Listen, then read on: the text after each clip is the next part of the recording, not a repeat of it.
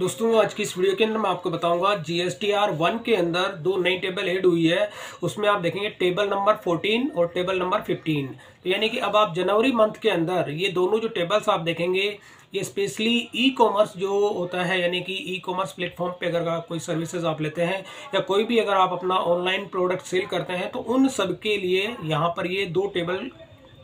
GST portal पे update की गई है। और इसी के अंदर सबसे पहले मैं आपको बात करता हूँ टेबल नंबर 14 की। तो इसमें जब आप यहाँ पे क्लिक करते हैं तो क्लिक करने पर आप देखेंगे टेबल नंबर 14 के अंदर होता है supplier made through e commerce operator यानी कि ये जो टेबल है 14 इसके अंदर आप दो तरह के इसमें सेक्शन दिए गए हैं, यानी कि liable to collect tax under section 52 तो ये वाली जो आप देखेंगे, इस सेक्शन के अंदर अगर आप ऑनलाइन सेलर है, जैसे कि मैं खुद एक ऑनलाइन सेलर हूँ तो यहाँ पर जिसकी लाइबिलिटी बनती है, यानी जो टीसीएस जो कलेक्ट करते हैं, और उसमें जो भी प्रोडक्ट आप सेल करते हैं, यानी कि यहाँ पर जब आप ये liable liable to collect tax under section fifty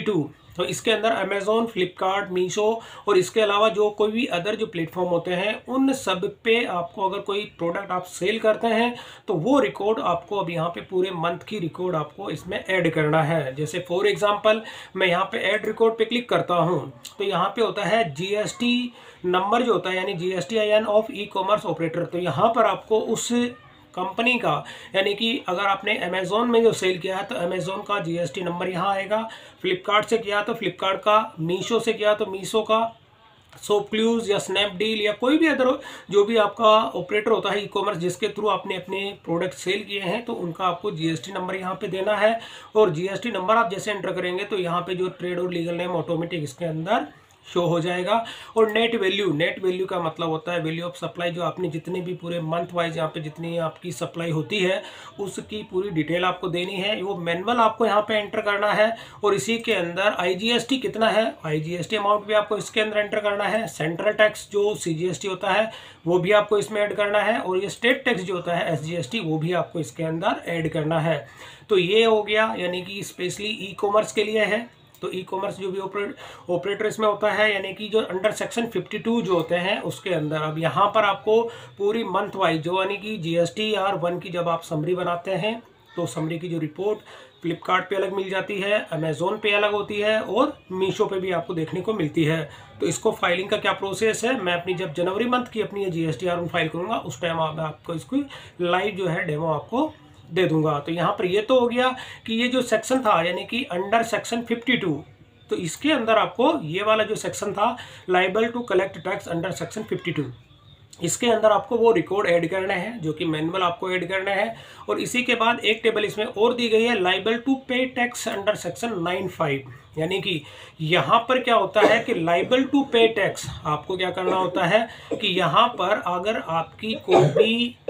restaurant है या कोई भी आपने अपना इस तरह की सर्विसेज़ आपने ले रखी है, जैसे कि मान लीजिए आप रेस्टोरेंट अगर चलाते हैं, रेस्टोरेंट चलाने के केस में यानी आपने जोमेटो की स्विगी की या ओला या उबर जो भी आपकी अगर किसी भी तरह की कोई भी सर्विसेज़ अगर आप यूज़ करते हैं तो उस केस में आपको ये वाला जो सेक्शन दिया गया है, यानी अंडर सेक्शन नाइन फाइव के अंदर वो सर्विसेज़ आती है। और इसमें जैसे आप यहाँ पे एड रिकॉर्ड पे क्लिक करते हैं तो यहाँ पर आपको क्या करना है, जैसे कि अगर आप एक रेस्टोरेंट के ओनर हैं तो रेस्टोरेंट के ओनर के केस में आपको क्या करना है, यहाँ पे अगर आपने स्विगी से सर्विस ले रखी है या जोमेटो से आपने सर्विसेज़ ले रखी है तो यहाँ पर स्विगी का और जोमेटो का या ओला की जो सर्विसेज़ अगर आप लेते हैं तो उनका जीएसटी नंबर आपको यहाँ पे एंटर करना है और यहाँ पे एंटर करने के साथ ही आप उसकी नेट वैल्यू जैसे अगर आप रेस्टोरेंट चलाते हैं रेस्टोरेंट के अंदर आपको पूरे मंथ के अंदर स्विगी के जो भी अगर ऑर्डर आते हैं आपके तो उसकी नेट वैल्यू आपको इसमें देनी है और नेट वैल्यू देने के साथ ही आपने उसमें कितना आईजीएसटी अमाउंट आपका कितना बना सेंट्रल टैक्स और स्टेट टैक्स कितना बना, वो एंट्रीज आपको इसके अंदर फिल करनी है।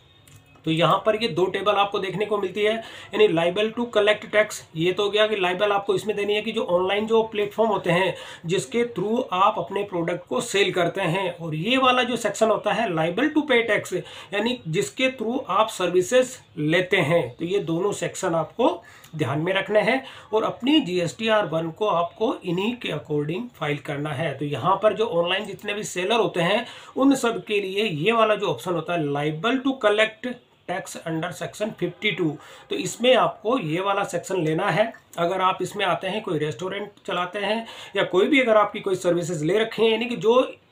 सर्विसेज़ प्रोवाइडर होता है, यानी जिस पे जो टैक्स बनता है, उसकी एंट्रीज आपको इसमें करना है लाइबल टू पे के अंदर। तो ये तो हो गया टेबल टेबल नंबर फोर्टीन जो होता है, उसकी मैंने डिटेल्स आपको एक्सप्लेन कर दी। अब इसी के बाद में एक टेबल और आती है, इसी के अंदर आती है सप्लायर जो होती है यानी कि supplies under section nine five तो जैसे ही आप इस पर क्लिक करते हैं तो यहाँ पर ये वाली जो सप्लाई होती है, यानी अंडर सेक्शन नाइन फाइव तो यहाँ पर क्या होता है कि जितने भी ऑनलाइन सेलर होते हैं, ये उनके लिए नहीं है। ये केवल अंडर सेक्शन नाइन फाइव अब नाइन फाइव के अंदर क्या होता है कि जैसे आपको ओला हो गया